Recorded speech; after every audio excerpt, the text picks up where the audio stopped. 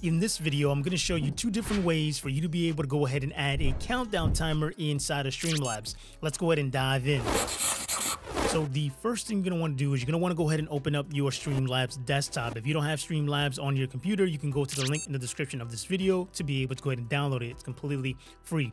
So the first way I'm to show you how to add a countdown timer going to be the simplest way. It's not to allow you to customize it so much, but it's still to be very effective. So the first thing you're want to do is you're want to go to the description of this video and you're want to go to lascurry.com forward slash countdown timer tool. I went ahead and created a tool that's easy for you to be able to utilize.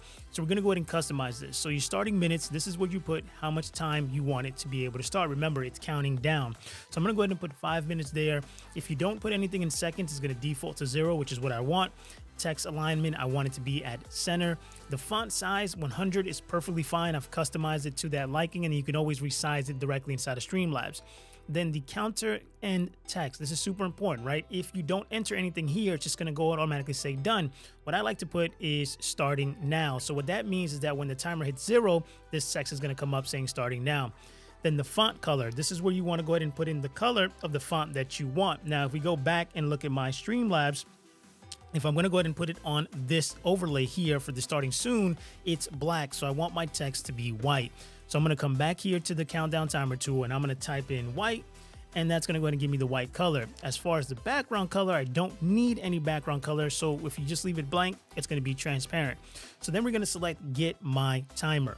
And what this is going to do here is going to go ahead and pop up the timer. You're going to see it now. It's white on white, so you're not going to see the timer here. But what we want to do is we want to come up to the top and we want to copy this URL. And now what we want to do is we want to come back here to Streamlabs and we're going to come to the right side where it says sources. We're going to hit this little plus icon. We're going to go ahead and select browser source. We're going to go ahead and add source. We're going to name this countdown timer. You're going to go ahead and hit add source. And now what this is going to do is going to go ahead and ask you to go ahead and put in the URL. So here's where you're going to go ahead and paste the URL that we just went ahead and copied. And then you're going to go ahead and hit close. Now what's going to show here, you're going to see that the timer is now available.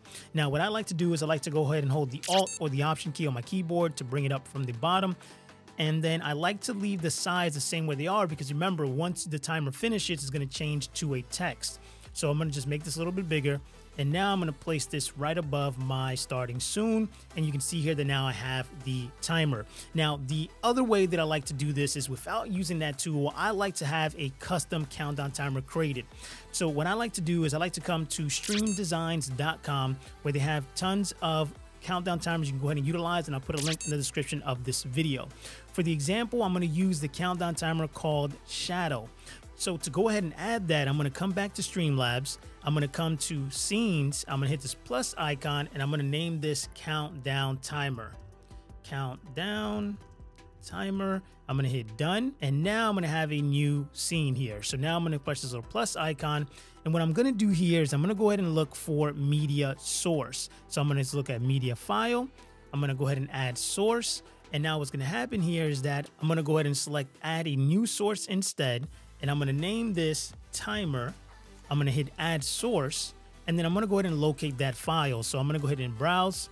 I'm gonna go to my desktop, and if you went ahead and downloaded your countdown timer from Stream Designz, it's gonna first initially come in a zip file. If you're on Windows, you'll right click, hit extract, and then it's going to create a folder for you. If you're on Mac, double click and it's going to create a folder. So once you have that folder, you're going to see here that we're going to have the countdown timer. I'm going to go ahead and select open and then I don't want to select loop because it's going to keep running. So I'm going to go ahead and just have it just how it is. I'm going to go ahead and hit close and you're going to see here now that I have a more professional looking countdown timer that's going to go ahead and count down, which matches my package. So this is the package that I'm using from Stream Design. So if you wanted to get the whole package that's being offered here, here. It's going to be the animated stream overlay package called Shadow. It doesn't include the countdown timer, but you get all the overlay scenes, all your panels, everything that you need to make your stream look professional. And I'll put a link in the description of this video. And just like that, I just showed you two different ways for you to be able to go ahead and add a countdown timer in Streamlabs. So all the links that I mentioned are going to be in the description of this video. Now, if you want to learn how to go ahead and set up all your overlays inside of Streamlabs to make your stream look professional, go ahead and click this video right here where I walk you step by step on setting up your alerts, everything you need to make your stream look professional. Click that video right there. See you guys in the next one.